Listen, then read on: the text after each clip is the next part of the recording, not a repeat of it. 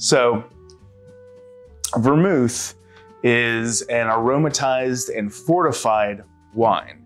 Um, what that means is that aromatized, it's got it's had the addition of certain herbs, barks, roots, extract, etc. Fortified, and that extra alcohol has been added to it.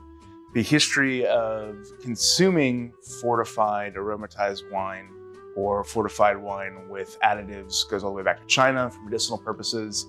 Uh, in Greece, uh, we see people infusing white wine with various herbs, um, and it continued down through the through the ages into the medieval period, uh, where it became a little bit more common. And in Germany, it became known as Wermut, uh, which is where we get the common word for vermouth today.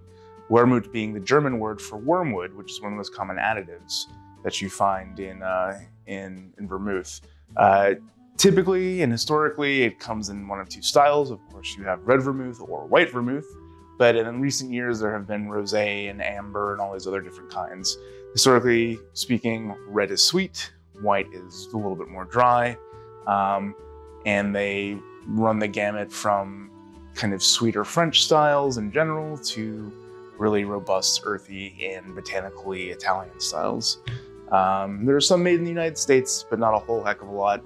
Uh, and they tend to be uh, a little less herby, a little less bitter, and a little bit more sort of rounded fruity. Uh, but yeah, put them in your cocktail, use them as a digestive aid.